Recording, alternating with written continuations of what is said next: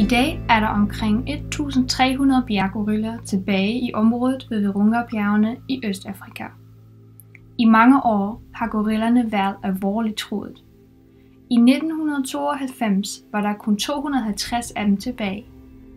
Selvom tallene er steget igen på grund af forskellige projekter til at støtte og udvide populationen ved at forbedre omstændighederne for gorillaerne, er de stadig udsat for forskellige slags erfaringer.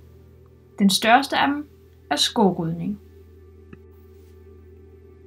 På grund af mangel af elektricitet i mange af områderne omkring dyrenes levested, er mange familier i området nødt til at gøre brug af træ fra regnskoven til at lave mad, koge vand og lyse deres hjem. Udover at bidrage til skovrydning, så er brug af brænde og trækul hver dag også meget usundt for kroppen og også for miljøet på grund af den giftige røg, der opstår ved ilden.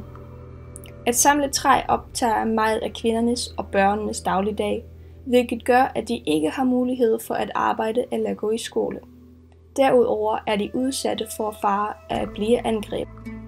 Derfor arbejder den amerikanske organisation Gorilla Habitat sammen med de lokale kommuner for at udvikle idéer til, hvordan situationen kan blive forbedret, både for de lokale familier, men også miljøet og dyrene, der lever i området.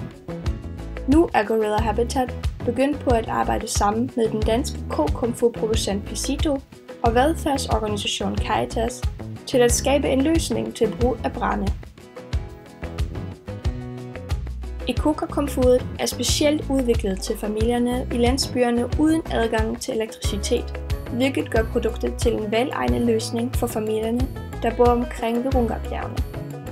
Ekokain løber på solarstrøm, hvilket betyder, at familierne får adgang til en miljøvenlig energikæde, som ikke kræver brug af brænde.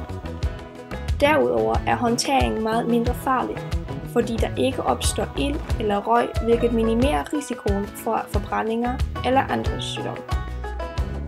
Komfuret leveres sammen med to lamper, som kan oplades direkte fra komfuret og kan blive brugt til at lyse hjemmet om natten. Mindre forbrug af brænde til madlavning hver dag har positiv indflydelse på miljøet og giver skovene og dyrene, der lever i dem, chance til at vokse igen.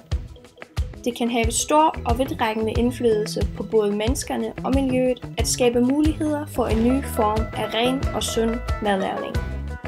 Hvis du kunne være interesseret i at støtte projektet, som giver adgang til moderne tekniske løsninger til store problemer, som mange er påvirket af, er du velkommen til at besøge Gorilla Habitats hjemmeside og GoFundMe-linket på deres side.